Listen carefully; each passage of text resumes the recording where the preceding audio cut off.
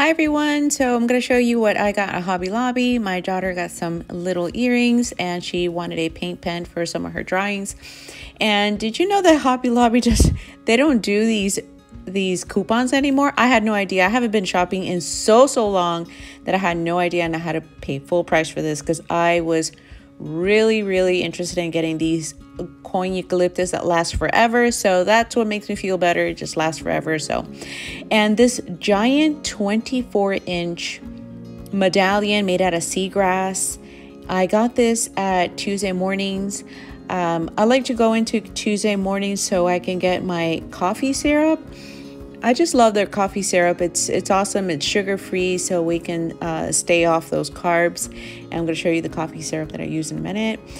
So after uh, after I walked in there and I saw this big big medallion, I had such a good idea, I think, to put it up on one of these plant shelves that we have all over the house.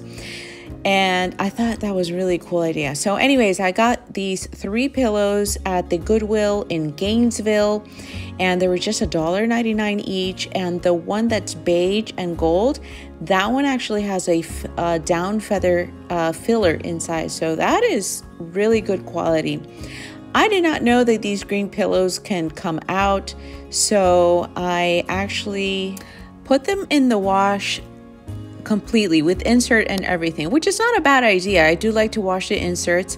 Some people a little bit squeamish about using these pillows, but I stick the whole thing in there and I put it hot water. I use detergent, I use all kinds of stuff. So I wash every single thing that comes into the house.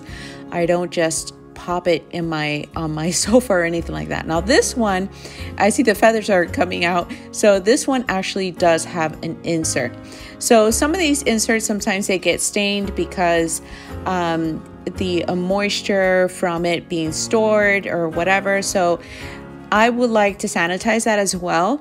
So I stick the cover into the washer along with the rest of the stuff and I make sure this is not like a linen or something. I would wash that separately. It might be a linen, but I thought it was look sturdy enough. So I put it on delicate so it just won't go crazy in there. It'll fill up and make sure you keep pushing these pillows down because they will float up to the top if you're washing the inserts. Um, I would definitely do that once I was not looking and the things floated up and it just started going berserk.